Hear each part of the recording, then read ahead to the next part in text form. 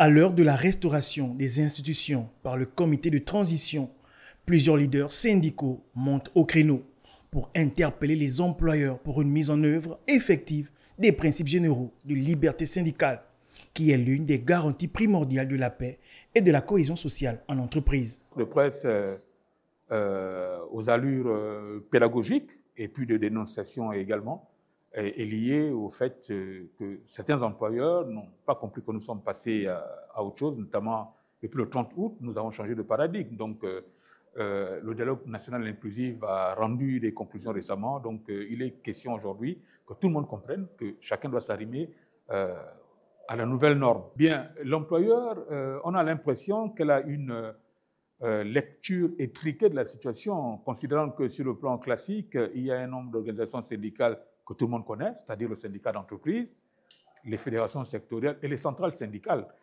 alors que la Convention 87 euh, étale une infinité d'organisations syndicales. Occasion pour le conférencier de revenir sur les prérogatives d'une section syndicale au sein d'une entreprise. Les sections syndicales existent dans tous les pays du monde.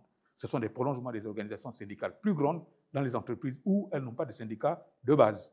Parce que pour l'employeur, avant d'intégrer une centrale syndicale, il faut d'abord être affilié à une organisation syndicale de base, ce qui est une hérésie, parce qu'en réalité, les organisations syndicales, elles sont de plusieurs formes.